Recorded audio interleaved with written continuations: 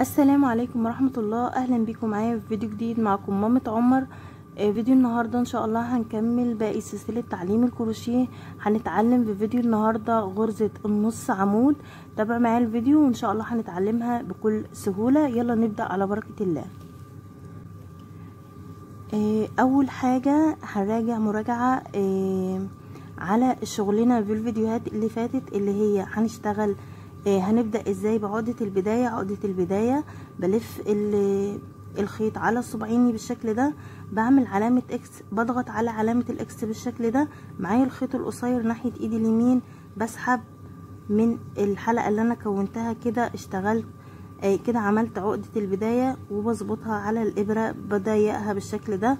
بمسك الإبرة بالطريقة دي أو بالطريقة دي الطريقة اللي تريحك تشتغلي بيها. هلف الخيط على إيديا إزاي؟ أهو أنا هلف على صباعي بالشكل ده الخيط ثلاث صوابع دول هثبت بيهم الخيط بالشكل ده الصباعين دول همسك بيهم بداية الخيط.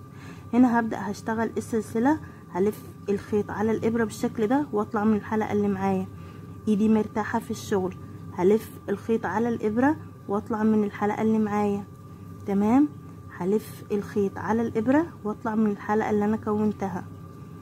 اللي الشغل ده أنا عامله له فيديوهات كل غرزة معمول ليها فيديو مخصوص ليها شرح بالتفصيل. هسيبه لكم في صندوق الوصف للمراجعة وهنا هكمل باقي السلسلة بتاعتي اهو بكل سهولة. بلف الخيط على الإبرة وبطلع من الحلقة. ألف الخيط على الإبرة واطلع من الحلقة. هشتغل عدد سلاسل بالشكل ده اهو. تمام؟ هنكتفي بالعدد ده. هنا هعمل إيه؟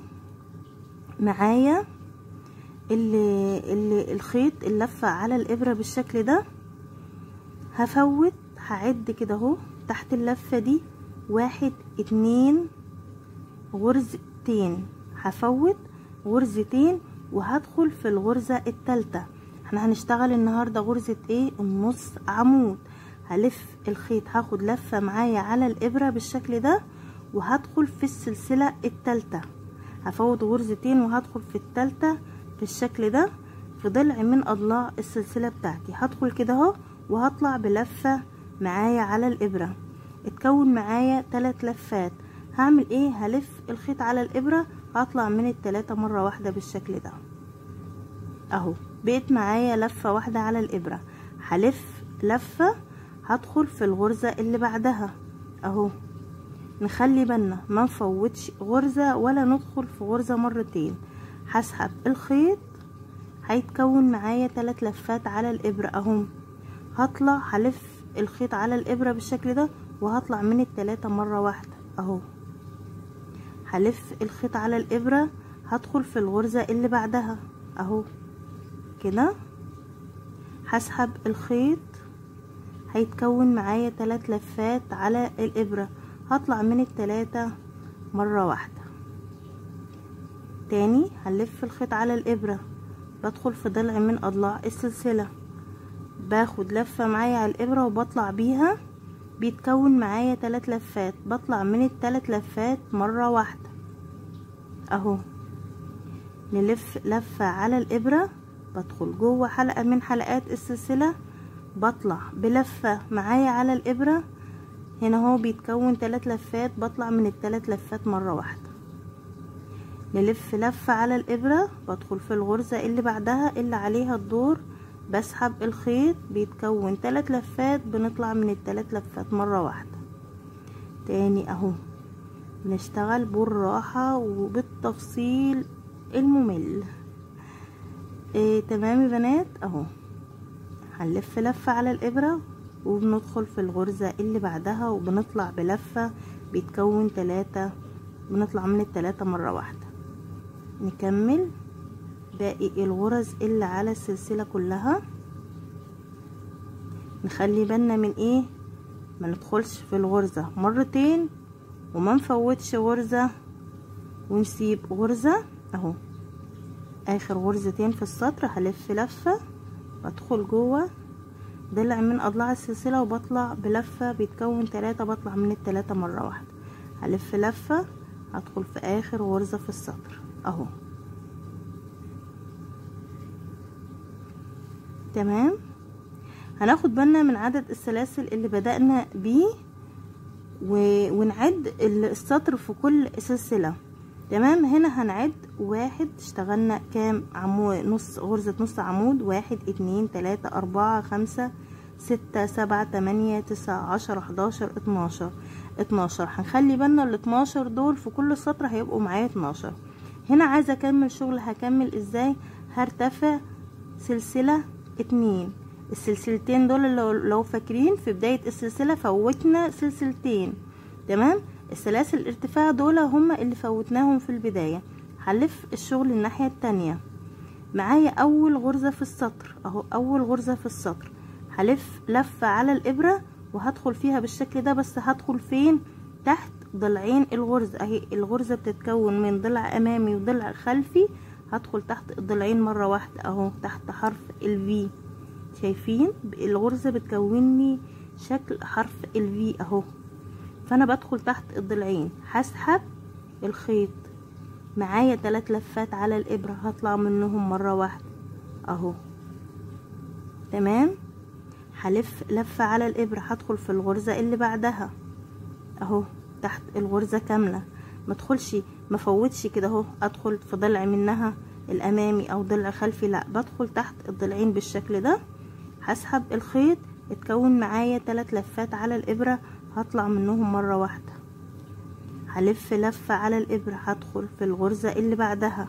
نخلي بالنا ما نفوتش غرزة أو ما ندخلش في الغرزة مرتين. خلي بالنا من عدد الغرز في كل سطر علشان ما نتلخبطش في الشغل بتاعنا. هلف لفة كمان هدخل في الغرزة اللي بعدها. أهو هسحب الخيط. معايا تلات لفات على الإبرة. هطلع من التلاتة مرة واحدة. أهو. الغرزة اللي بعدها. هلف لفة على الإبرة الغرزة اللي بعدها. هطلع بلفة وهطلع من التلاتة مرة واحدة. تلات لفات على الإبرة مرة واحدة. نلف لفة على الإبرة ندخل جوه الغرزة. هسحب الخيط بيتكون تلات لفات. هطلع من التلاتة مرة واحدة. هنلف لفة على الإبرة وهندخل جوه الغرزة كاملة. هسحب الخيط معايا تلات لفات على الإبرة هطلع من التلاتة مرة واحدة. كمان مرة هنلف لفة على الإبرة ندخل في الغرزة اللي بعدها. هسحب الخيط معايا تلات لفات هطلع من التلاتة مرة واحدة. هلف لفة على الإبرة هدخل في الغرزة اللي بعدها. هسحب الخيط وهطلع من التلات لفات مرة واحدة. آخر غرزتين في السطر. أهو. خلي بالنا آخر غرزة أهو كده أهو ما نفوتهاش في السطر. وندخل تحت الغرزة كاملة. ونطلع من التلات لفات. نعد الغرز بتاعتنا. واحد اتنين تلاتة أربعة خمسة ستة سبعة تمانية تسعة عشرة حداشر اتناشر ال اتناشر غرزة اللي بدأنا بيهم. يبقى إحنا كده إيه ماشيين مظبوط. ونكمل بنفس الطريقة. بنعمل إيه؟ بنرتفع اتنين. سلسلة وبنلف الشغل الناحية التانية. بناخد لفة على الإبرة وبندخل في أول غرزة. بنطلع بلفة وبعدها بيتكون تلات لفات بنطلع منهم مرة واحدة. بس كده يا بنات وبندخل في كل غرزة وبنشتغل فيها. وده كان شرحنا النهاردة لغرزة النص عمود.